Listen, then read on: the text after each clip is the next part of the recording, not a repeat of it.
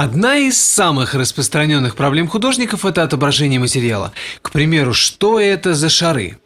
Без понимания размера или контекста сцены мы можем анализировать эти объекты лишь на основании того, как от поверхности отражается свет. И в этом видео я хочу рассказать вам о важности блеска, о том, как он образуется, а также покажу полезные упражнения.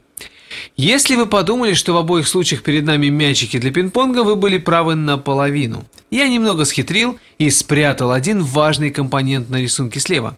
И давайте я его теперь верну. Вот я добавил солнечный блик, и шарик слева теперь куда более похож на настоящий шар от пинг-понга справа. Итак, это зеркальный блик, который поможет вам осознать характеристику поверхности. И давайте посмотрим на ряд строительных материалов. Вы можете заметить, что полированный бетон, керамическая плитка и полированный гранит вообще материалы каменистые, обладающие собственной текстурой. И если посмотреть на них с крутого угла, блестящие блики говорят о другом. Если скрыть цвета и сделать изображение черно-белыми, то блики станут еще более различимыми.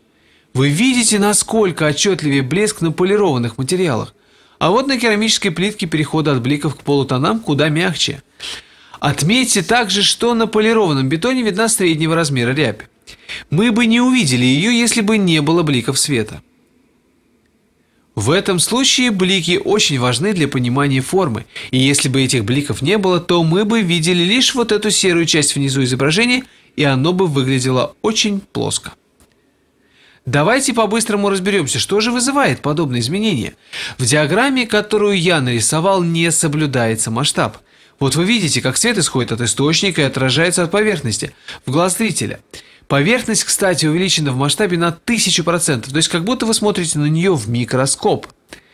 И материал, как вы видите, полированный и, в общем-то, плоский, и у него немного меняется поверхность, и поэтому лучи солнца слегка рассеиваются.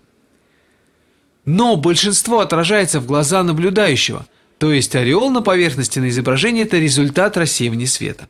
Теперь же давайте посмотрим на плитку, чтобы увидеть разницу. На микроуровне у этого материала куда более неровная структура. Вы видите, что свет падает точно так же, но вот рассеивание куда сильнее. И это все потому, что на микроуровне поверхность слагается из тысяч небольших плоскостей, каждая из которых отражает свет в немного другом направлении.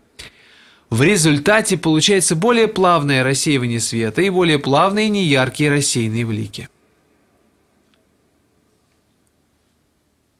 Когда речь идет о рисовании, блики могут внести существенные изменения в поверхность предметов. Я пять раз скопировал простой серый шар, а затем нарисовал на каждом блике. За исключением бликов шары одинаковые, но несмотря на это каждый шар представляет собой отдельный тип материала. Ваш мозг глядя на блики, сам заполняет необходимые пробелы. Итак, если речь идет о правдоподобных поверхностях, то для их создания, конечно, нужно куда больше, чем просто блестящее отражение и блики. Но начинать стоит именно с бликов. И чтобы попрактиковаться, попробуйте создать свои собственные сферы.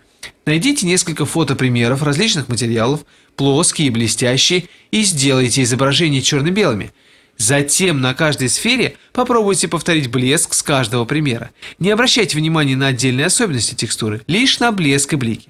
Такой тип изучения – это прекрасный способ изучения текстуры.